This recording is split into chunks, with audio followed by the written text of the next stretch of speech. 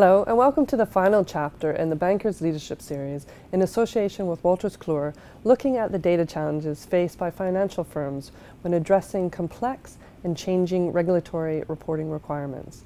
The series of discussions are based on a recent survey conducted by the banker, benchmarking more than 100 financial institutions' data readiness for regulatory reporting and compliance. Um, I'm going to ask this question to Rajat.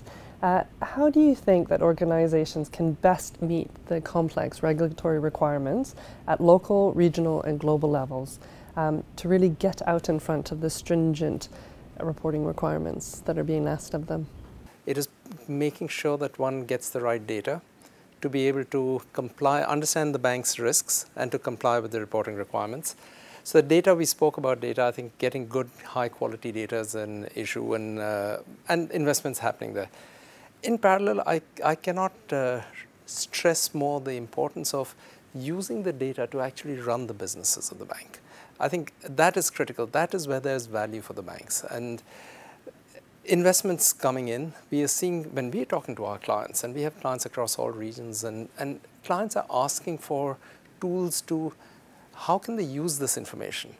that is an area where investment's coming in. The only way they can do that is with what we uh, discussed uh, in the last chapter, which was getting a integrated solution set. When they get the integrated set of uh, data across their businesses, they can then see where where the risks might be, and then they can act, banks can act on it. so to summarize, getting right quality data, making sure that it is integrated data, making sure there are taxonomies that uh, the different uh, businesses and divisions agree, and using that for for running their businesses. You know, it's uh, there's a slide that I often use when we are presenting some of our solutions. We have a solution called Business Analytics, which provides clients with this. It's a slide which is a car, where you see a, the rearview mirror, you see the dashboard and the road ahead. Most of the activity now is looking in the rearview mirror most of the data. Then they don't, sometimes they produce dashboards of their business, but very rarely, very few clients actually looking ahead as to how they can use uh, this information. So this is, th this is what they need to do to get in front of, uh, to answer your question specifically, to get in front of what is really being asked of, mm. of them. Okay, um, I'm going to come back to the points that you've made there, but I'm wondering, you know, when you're thinking about trying to address that legacy technology challenge, you know, are banks such as Citi or Standard Chartered really looking at the software as a service model versus an on-premise model for regulatory compliance? Are you looking, you know, to sort of not really outsource, but sort of move some of the compliance to, uh, you know, technology that sits outside the firm? Yeah, so I think what we've been doing for years now is sort of scouting the market for fintech, regtech type of solutions that um, are scalable and are addressing the need of the organization and are also not so siloed and small that it would require us onboarding mm. hundreds of different fintechs or regtechs because I think that is an operational risk in its own right. Um, I think we haven't gotten to the answer. We've seen a lot of potentially amazing things. Um, and I myself personally, with my engagement with the market, trying to sometimes bring certain firms together so they can actually create a more holistic solution from data cleansing to data security to cryptography to data travel. Um, so that once you create that sort of ecosystem of solution, it's much easier for a large organization to then plug that in. But I think what is most important is actually only the organization itself understands its data challenge, its business challenge, and the regulatory reporting and regulatory compliance challenge. So it's not as easy as just plugging in something from the outside. It mm. needs to be an iterative engagement process and sometimes even sort of, you know, integrating a solution into a specific workflow that performs a very specific task. For example, as we see in AML screening and, and solutions like that. So it is not very trivial it requires a lot more thought and it's, it's, it's far beyond the initial sort of fintech, regtech excitement. It's, it's then how you translate that into the organization that is already, as we discussed, a complex IT infrastructure that does require itself some overhauling. Yeah. Richard? Yes, I, I, I think broadly um, a, a, similar response. I, I don't, in the near term, believe that we will um, move towards a any kind of uh, managed service model. Um, we've invested so much in, in our own people and systems and, and, and architecture. It would almost seem like taking a step back. Um, we've, we, our compliance costs, regulatory costs increased 15% in 2017 compared to 2016. Um, so that, that we have made that very significant investment. I think we there is an opportunity for us to to to do a lot of rationalisation and improve the efficiency of our, data and our systems and our processes, and that's what I I think once we have a once we're closer to the end state in terms of the regulatory landscape, I think we will, uh, along with many of our peers, be looking to ensure that our systems and processes are operating as, as, as efficiently as possible.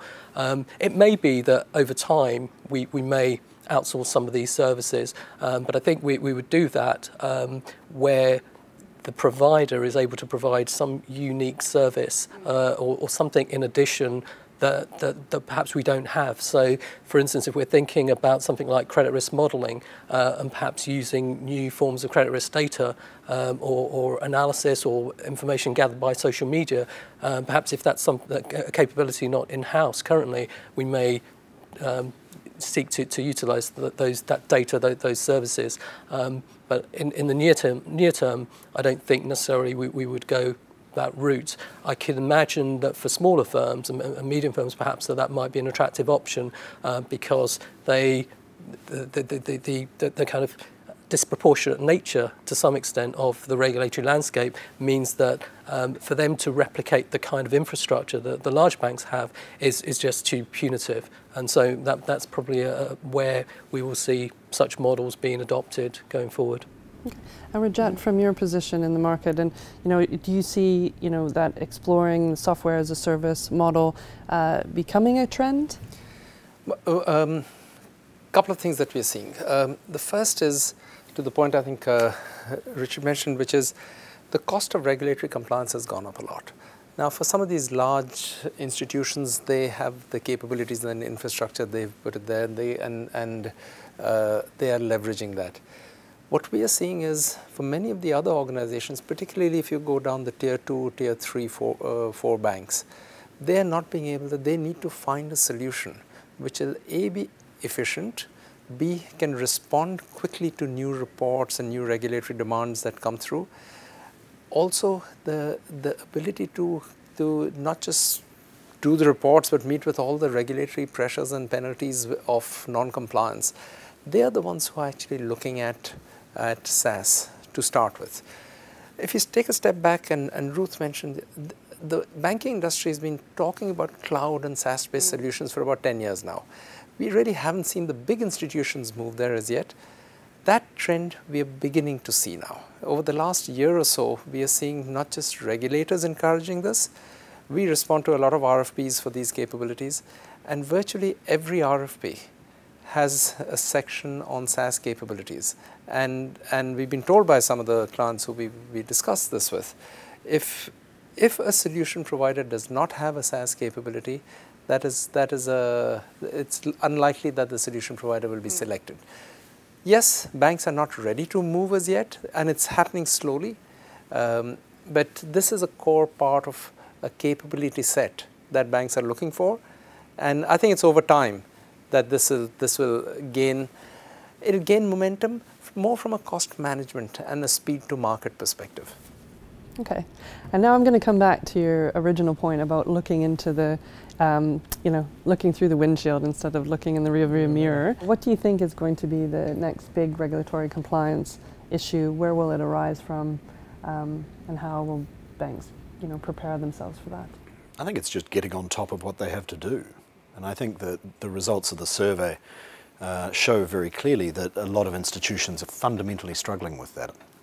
Uh, they're struggling at multiple levels, but they're struggling particularly in terms of understanding uh, the constraints of the data that they face, the constraints of the technology, and the constraints of how they've been used historically. And I love the analogy of the, the rearview mirror because a lot of people's thinking on this is driven by what they've been doing, not what they see they will need to do in future by looking at the road in front of them to uh, continue the analogy. But I'd go to um, uh, Ruth's comments earlier about uh, two points. First is scalability, And second is uh, really the one about um, the availability of these things in the market and what's going to enable the availability of these things in the market, which is the open source nature mm. Of the systems that are being developed, which is then dependent on what Richard was talking about earlier, which is the standardization. So all these things roll in together. To me, the crucial point is that there are very few institutions, although from uh, Ruth's and Richard's descriptions, there's the two that are doing it. Very few institutions are sitting back and looking at this saying strategically, what is it that we do? What are we?